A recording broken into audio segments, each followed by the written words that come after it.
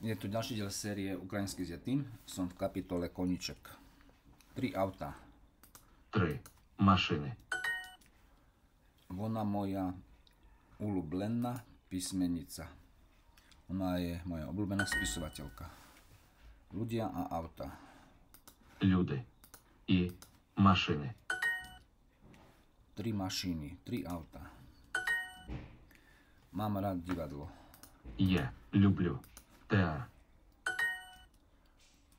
Som spisovateľ. Je. Písmenice. Ja som spisovateľka. Z angličtiny to nedá určiť. Ona je spisovateľka. Vona. Písmenice.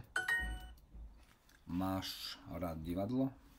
Ani to sa nedá učiť, či je to ty alebo vy, ale vidíme, že to vy. Vy máte radi divadlo? Vy. Ľubite. Teatr. Si spisovateľka? Ste spisovateľka? Ви письменниця. Toto je môj obľúbený, toto je moje obľúbené divadlo. Це мій улюблений театр.